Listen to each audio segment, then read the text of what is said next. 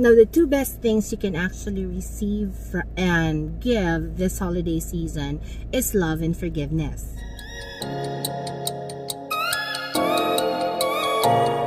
Hi everyone, good morning. I'm actually in my car again, uh, but don't worry, I don't actually record my videos when I'm um, literally driving, so uh, you don't have to worry about my safety. But anyway, with Christmas fast approaching and a couple of days more left for us to um, finish all the things that we need to finish, like last minute uh, gift shopping and last minute grocery shopping, and last minute distribution of gifts, we are actually very busy that we tend to forget the real meaning of Christmas. So hopefully you take time to actually um just sit down and reflect on what Christmas truly means.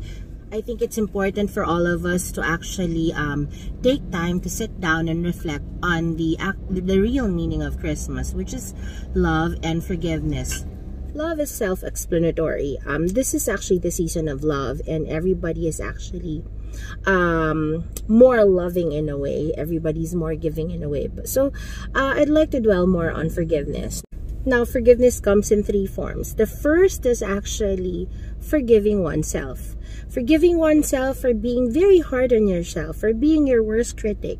And because of that, uh, there are, there is a lot uh, there are a lot of people who actually experience depression, anxiety because of this lack of forgiveness of of yourself. Okay, so the next form is actually forgiving others who have hurt you.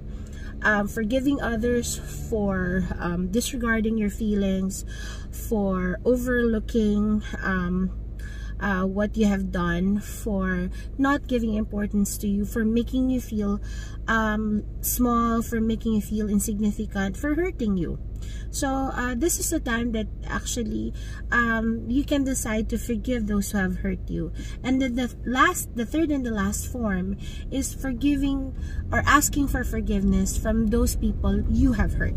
The two best things you can actually receive and give this holiday season is love and forgiveness. It is okay to say, I'm sorry when you know that you're at fault, when you know that you were the one who actually caused the trouble or the problem or you have hurt um, people. So it's not a sign of weakness. It's actually a sign of strength if you're able to admit your fault and take um, responsibility for that. And you will actually be surprised that things will actually be better and relationships will um, be better and things will flow smoother if people just learn to say or to apologize. So um, again, this is a season of love.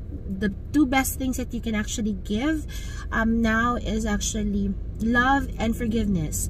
Forgiveness in three forms forgiving yourself forgiving um, others and asking for forgiveness. So and so i hope um, with this realization um, you have a more meaningful holiday season. So i wish you all a very merry christmas and a blessing filled new year. So bye bye i'll talk to you soon. Merry christmas